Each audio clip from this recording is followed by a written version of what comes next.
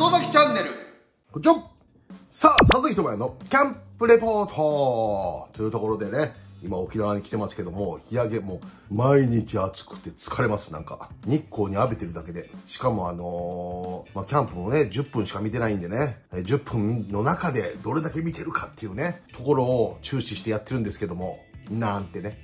まあ、ここね、沖縄に来て今週は本当どこのチームもね、練習試合が多くて、結構実践の中でのね、日刊スポーツの評論にはなってますけどもね、えー今回、まあ、あの、まあ、まだ、今日この撮影が今もう土曜日の夜遅くなんで、あと日、えー月と、ね、しっかり見て、えーから、まあ、東京に、えー帰りますけども、1週間ね、あの沖縄にいましたけども、そういったところでね、今、えーの、このキャンプ事情、えーキャンプレポートっていうところを、まあ、語っていきたいと思います。ということでね、まあ、一番最初、火曜日ね、14日、中日対ロッテのね、チャタンでの試合を見に行って、で、15日はね、えーロッテ対ヤクルトの、えー、糸満でのね、試合見に行きましたけども、まあ、今日の動画はですね、その最初のうち、まあ、中日ね、中日の、まあ、そのね、見た感想。で、今日もね、名護で、あの、試合を行われてましたけど、まあ、映像をね、見た感じでいくと、やっぱりね、打撃陣がね、全体的に、あの、積極的っていうね、あの、ニカスポーツの原稿でも書いたけども、この14日の試合でも、ほぼほぼね、60%以上のバッターが、ファーストストライクっていうのを、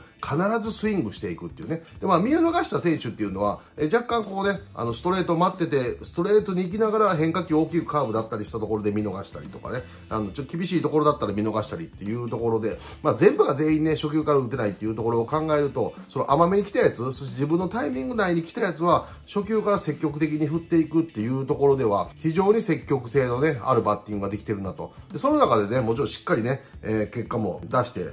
初回もね、えー岡林ライト前ヒットからね、細川、えータイムリー。ほんで、鵜飼がね、初球レフトスタンドにホームランっていうところでね、しっかり高級筆打で打っていけるのは、まあ今年からね、我らが日韓スポーツで同じね、評論家だった和田さんがね、コーチに、えー就任して、そういったところでもね、この和田コーチ効果。っていうのがね、まあ出てるのかなと。で、まあ今日の試合でもね、あの非常に福永選手だったかな。ホームラン7回ね、打ったのもね、非常にいい形の初球見逃して初球のストライクっていうところをね、積極的に打ったっていうところでも、あの非常に、まあ今年ね、ドラゴンズは佐々木のね、あの動画でも毎回言いましたけども、打てるかどうかだからね、この打てるかどうかっていうところでは、若手ね、あの、非常に、えー、二遊間、えー村松、そして、えー田中っていうね、まあ二遊間ね、若い選手で行きたいっていうところではね、非常にまあスピード感もあるし、まあちょっとね、守備にがちょっと球際っていうところはあるかもわかんないけども、非常にね、いい形の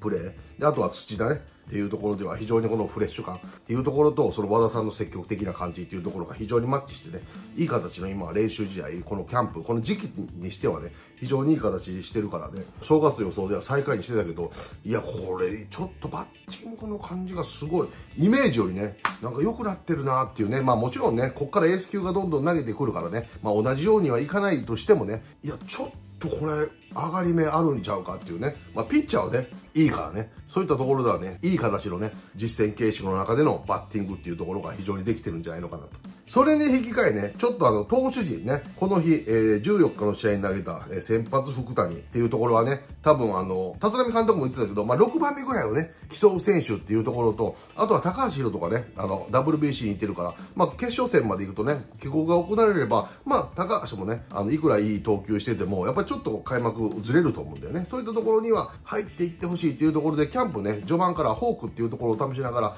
シートバッティングとかね、そういったところではいい形の結果で、えー来てたみたいなんだけども、まあ、この日ね、実戦ね、あの、初登板っていうね、えーところで対外試合、練習試合のロッテ戦になったけども、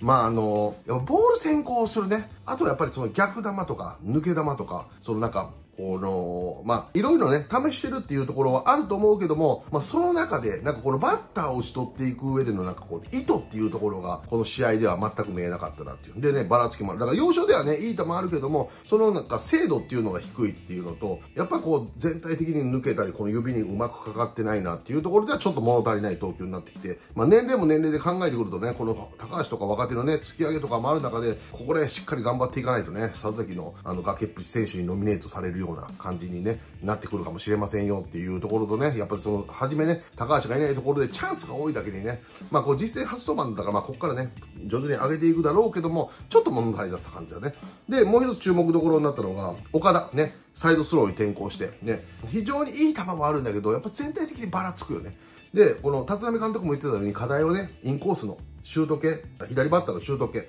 インコースにね、来てどこまで幅広げるかっていうところでは、まああの、ドラゴンズにいないタイプだからね、非常にこの役割分担としてはあると思うんだよね。でも、自分の持ってる球をしっかり制御できないとね、意味ないから、まあそういったところではまだね、抜け球とかコントロール、アバウトだったりするから、まあここからどこまでね、こう上げていけるかだけど、まあ面白い存在にうまくはまったらなるんちゃうかっていうところはあるね。あとで気になったのがね、もう石森。球の力あるけどね、やっぱ制球がばらつくね。まあ去年も結構2軍の試合でもばらついてたみたいだけども、ここがね、なんかもったいないね。請求がばらつくっていうところではね、球の力があるだけにね、もったいないかなっていうね、えー、ところが、まあ、ドラゴンズの感じやかな。でもね、なんかいい感じがする、キャンプの感じは。だから、ちょっとね、正月の再開予想からはジャンプアップする可能性もあるけども、まあ、ここからね、どうなるのかっていうところは、まあ、注目どころだね。で、続いてロッテね。ロッテも、あの、14日、15日のね、2試合、中日戦と糸満での躍動戦、こう、両方見た、えー、中で、やっぱりこのね、先発、岩下、そして、えー、二木っていったところ、物足りんな。この、もう、調整してる場合じゃないのよ。正直、立ち位置からしたらね。だからまあ頭で言うと佐々木朗希、えー、石川、そしてまあ美馬あかな。で、まあルーキーもね、いるし、小島。まあ小島もね、あの一緒だなとかだけど、内容いいからね。っていうところでは、この、チャンスはあるのよ。岩下もね、あの、二木も。でもこんなもう調整してる場合には結果どんどん出していかなきゃいけないところで、すごい厳しい言い方すると、ブルペンで投げてるみたいの感じ。あの、抜けたりなんとかしたり、こうなんか、もうピリッとせえんなパッとせえへん、全然。とこもあるけども、まあ、それを全て佐々木朗希が打ち消すっていうね、えぐいね。あのこの時期によ村上を三振取ったのが160キロ。アベレージ156、7キロ。でそこからフォーク落とす。打たれへんで。そらなかなかね。で多分長岡がねヒットを打ったのよ。いい形の反対方向ね。ああいうのがねあの佐々木朗希を打つためには引っ張りにかからないで理想的かなっていうところはあるけども今の時期あれ投げたらもう打てないよ。完璧すぎてビビったね。非常にいい、まあね、去年まではまあ体作りもあったけど、調整ちょっと遅いなっていうところはね、あうんっていうところはあったけども、今回まあ WBC もあるしで、しっかりで調整してきてきてるところは、そんな厳しいところでも WBC 投げないと思うけど、まあ見てみたいなって思わせるような、非常にいいね、糸満でのあのヤクルト戦のピッチングだったかなと。で、その中でね、ピッチャーね、光ったのが坂本。ヤクルトからね、去年トレードで途中からね、来たから、まあそこはバタつく感あったから、まあ実質今年ね、1年目みたいなもんよ、ロッテね。キャンプから自主トレからキャンプ含めてね、自分のペースでね、ロッテっていう雰囲気の中でやってくるっていうところを考えると、この日ね、1イニング12球、無安打2三振、めっちゃ良かったね。コントロールも良かったし、そのストレートね、インコース、アウトコースしっかり投げ分けてる中からの、まっすぐの軌道からのスライダーの曲がりっていうところはね、めっちゃ良かったね。これいいなってね、あの、佐々木朗希の後に次に投げたけどね、見劣りしないぐらいめっちゃ良かった。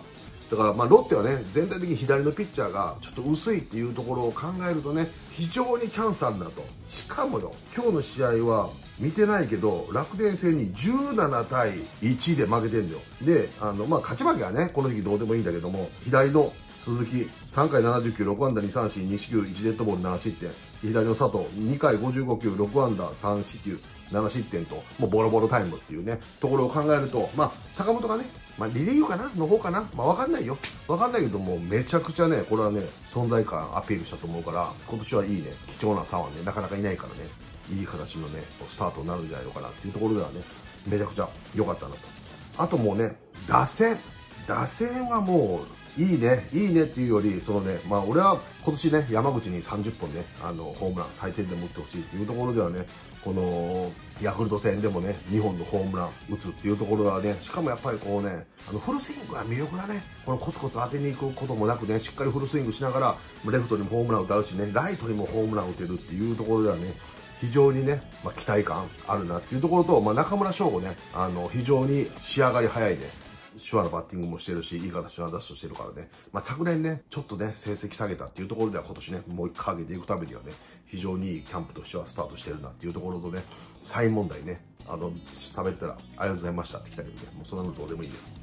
俺が言うのはね、当たり前のことだからね、あの、ショーガもね、しっかりやって手術して頑張ってもらいたいっていうこと、ファンの皆さんね、そういったところを邪魔しないようにね、やっていきましょうっていうね、ところですね。あとまあね、なんとかしなきゃいけないのは安田っていうところね、若干ね、あの、上、絞ってきたらしいんだけど、なんかこう、薄く感じるのは俺だけかなっていうね、もうちょっとブライトバーンって張った方がいいんちゃうかと思うけどね、まああの、右左ね、いい感じで打ってたからね、まあ今後どうなるんだろうっていうね、ちょっとね、平沢がなんかピリッとせえへんな、全体的になんかタイミング合ってないのか、まあ、藤原、平沢っていうところがね、全部ストレートに差し込まれてるんだよね。だからもう引き込んで打とうとしてるのは、もう悪いことじゃないんだけども、なんかこう、見てて、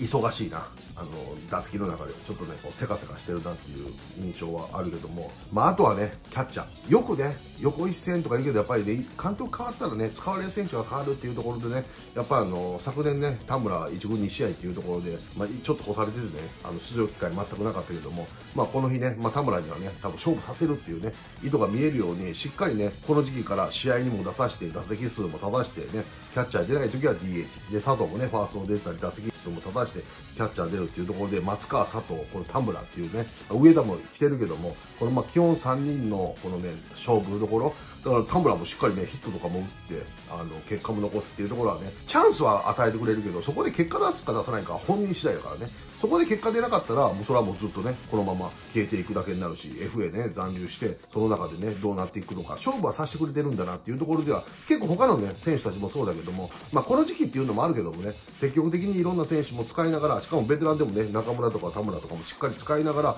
勝負させて、あしっかりやってるっていうところはね、非常にこの、まあ吉井監督含めね、方針的にはいい感じかなっていうね、まあ出場出てるからね、あとはもう田村ができるかね、松川もね、それに負けじとね、ライトに打ったりもしてるし、このね、松川にしてもね、この田村が来てね、競争原理が働くとね、松川にとってもいいことだからね、負けるわけにはいけないしね、で、田村は田村でね、ここで今年頑張んないともう終わるだけだからね、で、佐藤は佐藤で、ね、こう、俺も忘れんなっていうところでね、来てね、打ってるところもあるから、そういったところでは非常にね、この田村が加入することによって、もう一回ちょっとね、サバイバル感がキャッチャーに出て、あの、この空気感っていうところはね、松川にとっても佐藤にとっても非常にいい傾向なんじゃないのかなっていうところで、で、しかも田村も結果出してるしね、